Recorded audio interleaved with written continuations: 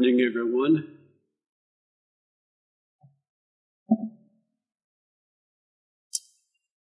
Weather was a little bit of a hindrance to some today. We're a little bit short. We got about five inches, I think, last night in Fort Smith. Talking to Wayne this morning, he thinks they got about five and a half out there. And the little town we come through, called Kinta, the water was over the road, not so much that uh, we had to turn around, but it was high enough that they were there cautioning us to take it slow. I've never seen that in all the years I've been, we've been coming through that town water was that high. They said last Sunday, the water was up four feet in the store. So you can imagine a considerable amount of damage, not only to the merchandise, but also to the building. The thought for my sermon this morning is more or less in a question. I'm sorry.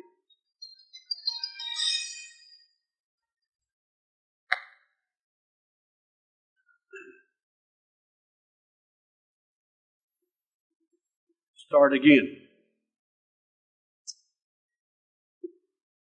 The question we want to ask ourselves are we confident in our faith? That seems to be a simple question,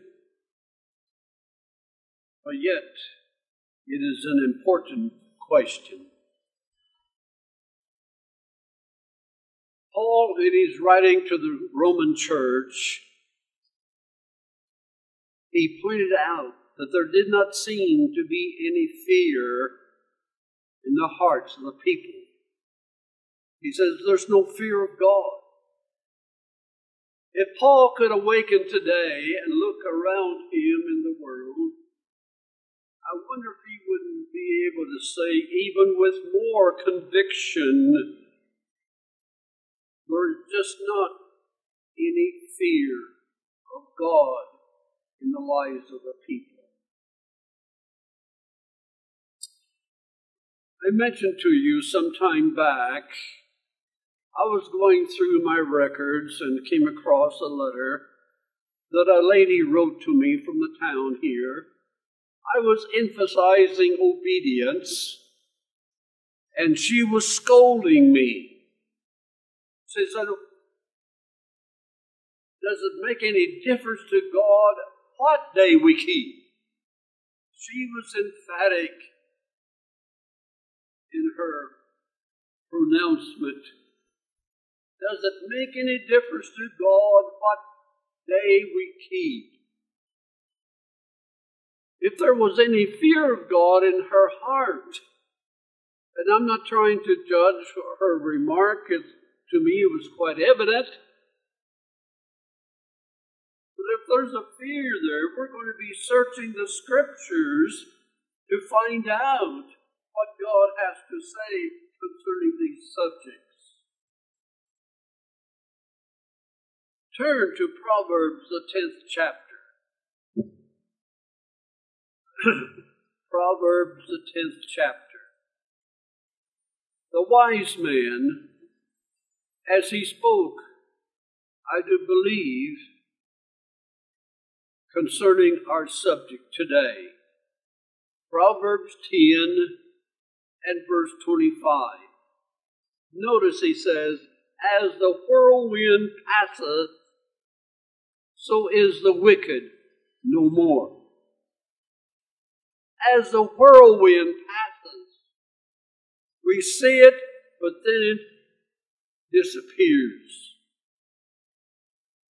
As the whirlwind passes, so is the wicked no more. But the righteous, but the righteous is an everlasting foundation. God is very concerned about our righteousness as we conduct our lives in His presence. He's pleased. There's a scripture says, and I'm not going to thought I could quote it almost per word, but I really can't. Precious in the sight of the Lord is the death of his people or the saints. Precious in the eyes of the Lord is the death of his saints or his people. They fought a good fight. They resisted. They were concerned about their relationship with the Lord. And so they read and reread, meditated and prayed because they wanted to be confident in the faith that they expressed before God. But it just seems today that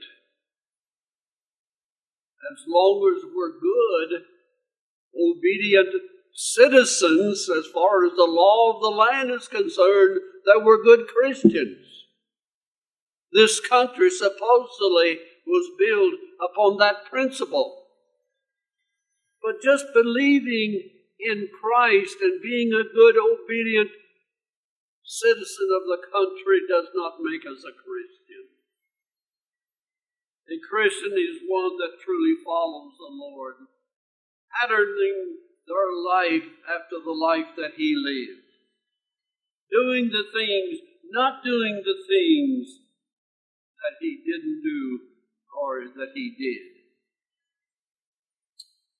And so we can be confident then in our faith if we know that the way we're living is according to Scripture.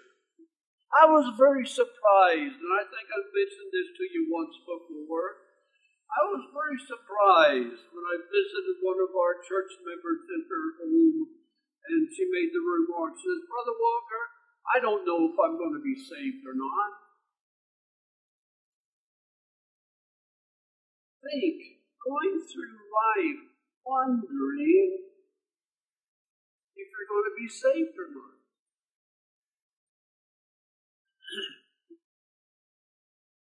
John, when he wrote one of his books, that was one of the things that he encouraged the church. He said that you may know that you have salvation.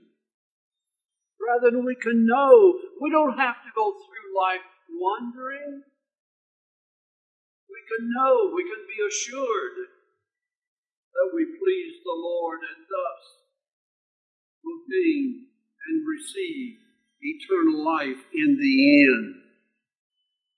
God doesn't want us go through life questioning whether we will be rewarded for our righteousness in the end time or not. In Matthew the 16th chapter, Matthew the 16th chapter, and the 18th verse, Jesus answered and said unto him, the individual, Blessed art, it's Simon Peter, I guess. Blessed art thou, Simon Barjona, for flesh and blood hath not revealed it unto thee, but my Father which is in heaven. Now, this is our thought. And I say also unto thee that thou art Peter. The meaning of the word Peter means a little stone. And upon this rock, and the Greek word that the rock is taken from means a massive rock. A massive rock. Upon this rock I will build my church, and the gates of hell shall not prevail against it. As we look at the church of God today, it's getting so small compared to the population of the world. What if it was not for such verses as this? We would wonder perhaps is the church going to die out? Yes, I agree. that it's small. But I can be assured in my mind, I can have the confidence in my faith that I possess that Satan will not be able to completely destroy church of God. I know that because God said it in His Word, and God cannot lie.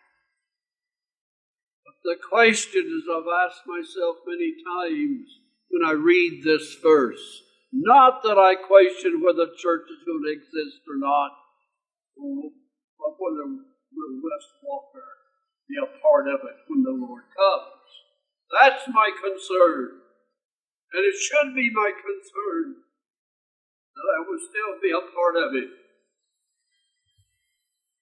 As we look around us and see and view the church of God, not too many years ago, we know individuals that attended a church and was faithful in their work and their service to the Lord. But today, they don't darken the door anymore. So that question should be a concern to us. Will Satan be able to discourage us? We all are human. And sometimes people don't treat us like we think we ought to be treated. And so we feel Satan plants that thought in our mind. You to let them treat you that way? Not too many times in my ministry, but I have seen it.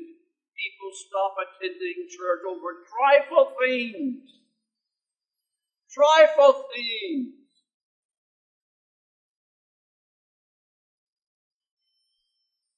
Jesus said, The gates of hell shall not prevail against the church because he built his church upon this massive rock. And the question arises what is the massive rock? There's difference of opinion. Some people feel that he is referring to himself. I feel he was referring to his heavenly Father. Because Jesus said, even himself said, I can do nothing without the Father will of him. So he was depending upon his Father. That was, there was nothing he could not do. and we can be assured of that confidence that the church will always exist and we will always exist if we're a part of it faithfully, that is. In Matthew, the seventh chapter, Matthew, the seventh chapter, beginning with the 24th verse. Christ says, Therefore, whosoever heareth these sayings of mine and doeth them, doeth them, not just know about them, but doeth them. I will liken him unto a wise man which built his house upon a rock. The house had a firm strong foundation, and the rain descended, and the floods came, and the winds blew and beat upon that house, and it fell not, for it was founded upon a rock. Brethren, we go through many tests through life. I do believe that God does test us, that we can see ourselves as we are. Do we have that confidence in the faith that we ought to have. If we're easily discouraged, I think we should stop and consider the, the situation seriously. Whether we're going to allow it to fester and grow. Let us recognize that we all are human we have that tendency for Satan to tempt us, to discourage us. And what someone might have said, so what someone might have done, we're going to let it discourage us. We're going to let him destroy the foundation that we have been able to build over the years. But then in the 26th verse, and every one that heareth these sayings of mine and doeth them not, don't let anyone tell you, brethren, that works doesn't matter. Grace without works is dead. Faith without works is dead. The two of them must go together. In fact, you cannot have grace without a law that exists for us to obey. the Bible is very clear where there's no law, there's no transgression. So there's no need of grace if there's no law. But here, the one he hears, he's received the word, but that in itself does him no good unless he puts it into practice, lives it, illustrates it by the life that he lives because he has read the word and believed. If we live the word, then when oppression comes or discouragement comes, then we'll be able to stand. Paul was very plain when he wrote to Timothy about our thoughts today in 2 Timothy, the second chapter. 2 Timothy, the second chapter, and verse 19. He says, Nevertheless, the foundation of God standeth sure. Paul wanted Timothy, as he begins his work in the ministry, to remember the foundation that God has established. Nevertheless, the foundation of God standeth sure, having this seal, that God knoweth them that are his. Now, this is our thought. Let everyone that nameth the name of Christ depart from iniquity. Depart from iniquity. There is no room for God and iniquity to exist in our life. The two are not compatible. The two will not exist coexist in our life. If we want to serve God, then sin has to go. Have to realize what sin is to depart from it. And to find out what sin is, we have to read. We have to think upon the Scriptures and allow the Holy Spirit to reveal to us the things that God does not like and that he cannot coexist with.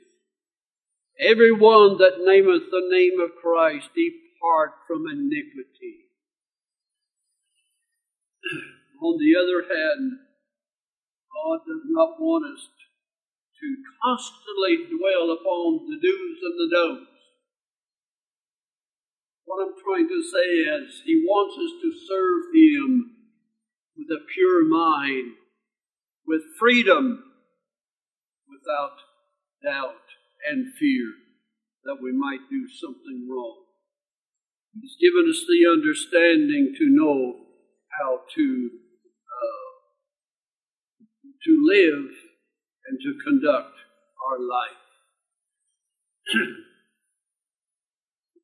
but that does not come without some effort. Paul, when he wrote to Timothy, he says, Study to show thyself approved unto God, a workman that needeth not to be ashamed, but rightly dividing the. There, some effort has to go in that. The scriptures are not always clear, black and white although most of it is, and how, as to how we're to live before the Lord. So much God has not left us in doubt, but so clear, so clear. In my thoughts as I was driving down today, I happened to think of a gentleman when I was pastoring the Tacoma Washington Church. He was not a member of our church, but he wanted the pulpit to speak to the people. I just had my doubts about him and I did not give my consent. Somehow or other, we got up on the Sabbath, the subject of the Sabbath.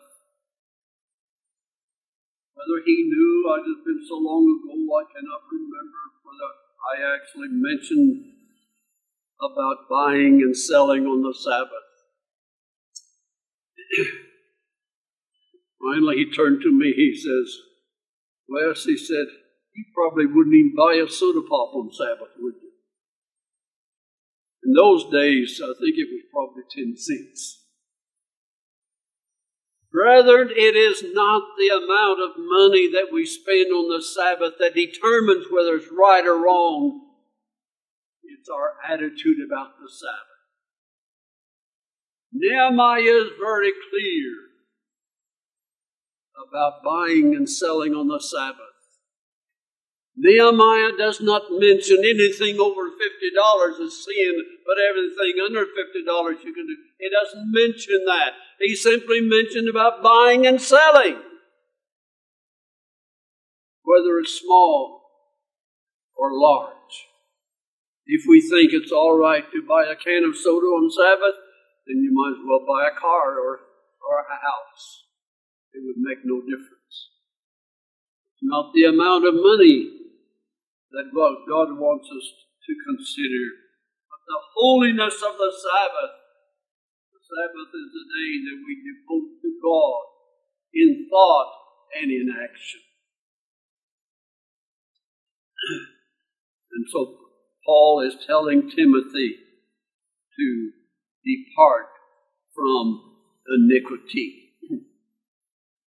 In Psalms, the 37th the 37th Psalm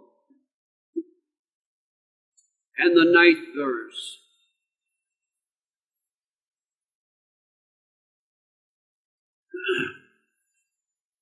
David says, But evildoers shall be cut off. But notice, but those that wait upon the Lord, they shall inherit the earth. Jesus, when he Sermon on the Mount, I believe was his first sermon. He says, Blessed are the meek, for they shall inherit the earth. Nothing is ever mentioned about going to heaven and in inheriting the heaven above. The righteous is going to inherit the earth. Those that wait upon the Lord, if we're confident in our faith, we're going to be patient with the Lord. We believe that there is nothing the Lord cannot do. But I tell you, brother, sometimes the Lord is very slow in answering our request. God is a God that never gets in a hurry, but He's also a God that's never late and that He will not try us beyond our ability to to uh, uh, to carry the burden. For He will not place upon us no burden beyond our ability to carry. We have to be patient. We have to be patient with Him. God is going to see if we believe that He will answer our prayers. Paul was very confident in 2 Timothy, the first chapter. 2 Timothy, the first chapter.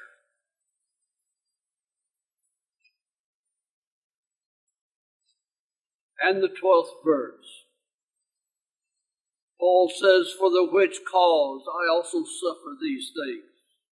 Nevertheless, see, he comes to the, to the point here now.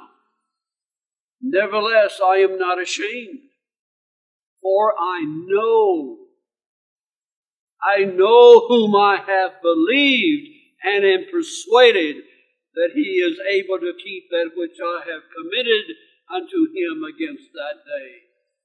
Paul believed that he was able to keep that which he had committed. What had he committed? His life. He had committed his life. He made a commitment, Lord, I'll serve you. And that is the same commitment that each of us made when we accepted the Lord as our Savior, was baptized to rise to walk in newness of life. We made a commitment, Lord, I'll serve you to the end of my life. Paul here is expressing the confidence that he possessed. I know whom I have believed. I know. Can you just feel the confidence that radiates from that verse that Paul knows that he had as, as a true relationship his Heavenly Father?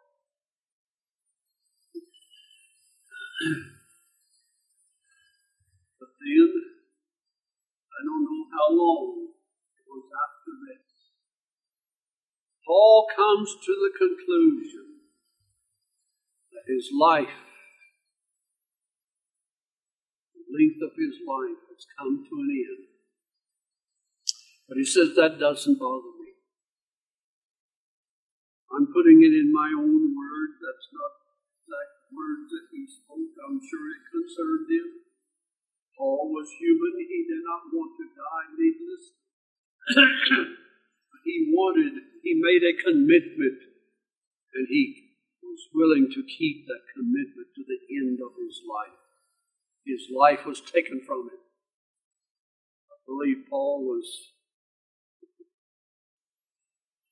believe he was beheaded. Correct me if I'm not, if I'm wrong.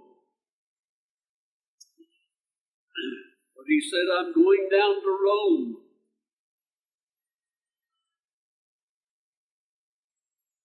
He did not want those who were weak before him to try to change his mind from the course that he had set for himself. Because he knew in his mind that God was able to keep that which he had committed. On the other hand, if God did not see fit to preserve his life, he was willing to give it. It's amazing that each one of the apostles, exception of John, he was banished to the Isle of Patmos. But all the others died a martyr's death.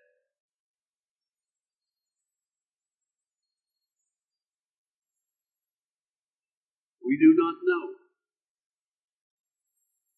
until we're put to the test. Whether we're that strong or not. I hope you are. I hope I am. But neither, neither of us can answer that question completely until we're put to the test. You know what the scripture tells us? that if we think more of our life than we do of Him, we're not worthy of Him. Thank God we're not put to that test. The I cannot help but feel they were put to the test because they were chosen, especially by Christ, to be His apostles.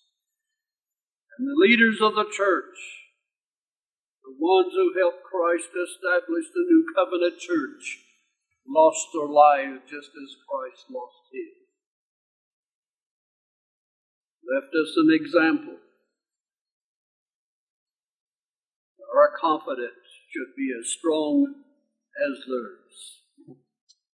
In Daniel, the sixth chapter, you know, Daniel was certainly a mighty man of God. He lived a dedicated life. The politics in those days, I somehow get the feeling, it certainly, I'm sure that they felt it was bad for their age. It's certainly not near as bad in a mess as the politics are in today. I just cannot imagine a true Christian being able to live.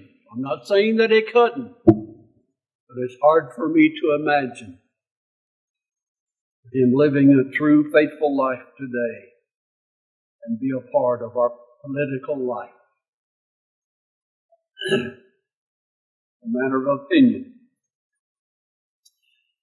But Daniel here, he's living, he's part of the government. He's just one step below the king himself. I get that impression. And there were some who were jealous of his position. And they knew that the only way that they were going to get rid of him was through his service to God. And so they got the king to make a decree that anyone who asked a favor of anyone beside him would be put to death. Here in verse verse 10, chapter 6 and verse 10. It says, Now when Daniel knew that the writing was signed, he went into his house, and his windows being open in his chamber toward Jerusalem, he knelt upon his knees three times a day and prayed and gave thanks before his God as he did aforetime. That didn't stop him. That didn't undermine his confidence, the faith that he had in his Creator. so we know that it can be done, brethren. We know that He can. And those men that accused him, they were watching you read in verse 11. They watched to make sure whether he would continue asking a petition of the Creator. but Daniel never wavered. And oh, how wish that we all today would be as bold as so many of our forefathers were so bold and confident in their faith. I'm not speaking about something that we cannot possess. We're talking about something that can be ours, a reality. It is not something out there that we just simply strive for every day, but we just cannot quite reach it. No, God never asks us to do anything that we cannot do. That we cannot do. In Acts, the fourth chapter, in Acts, the fourth chapter, the followers in the early church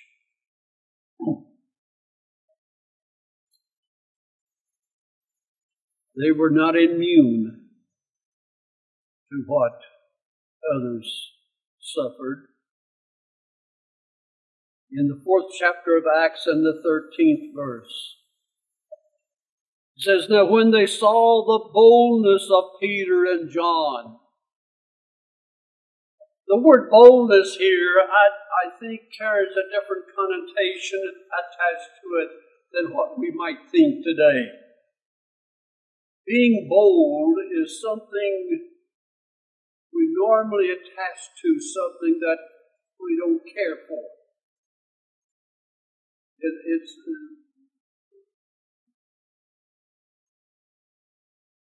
I wish I could describe what I would like to say.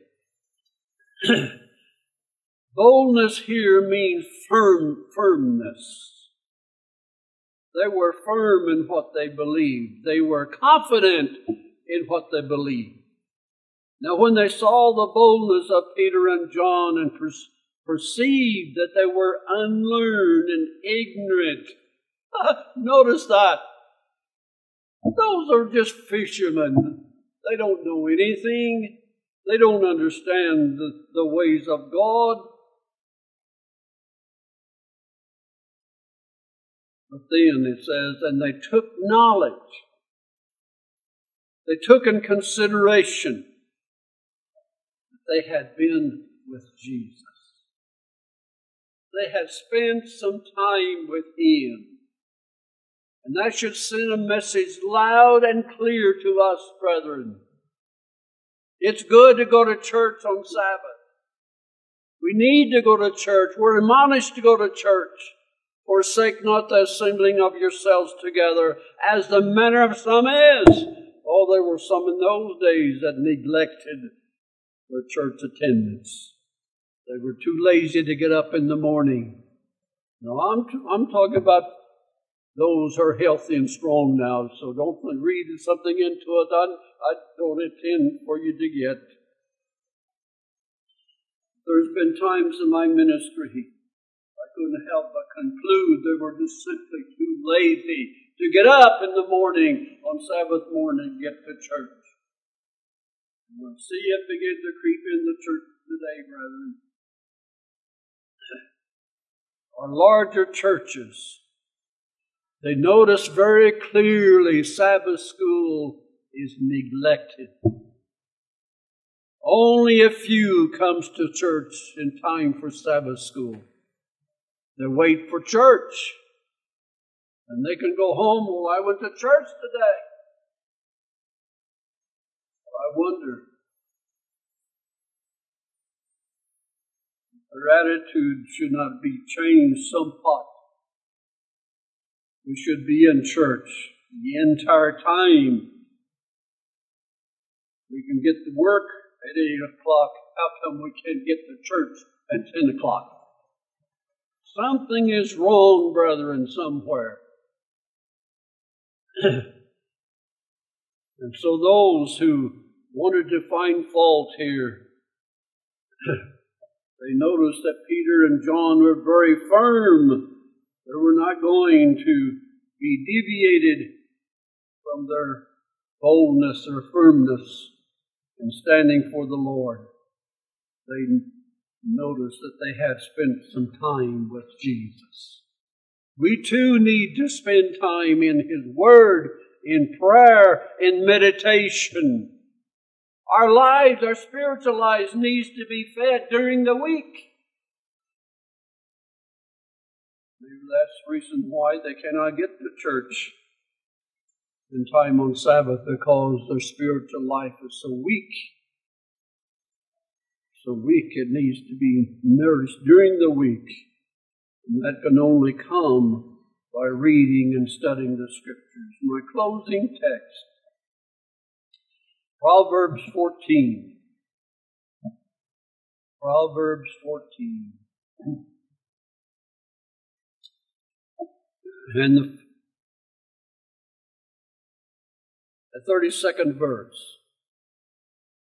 The wise man says, The wicked is driven away in his wickedness, but the righteous hath hope in his death.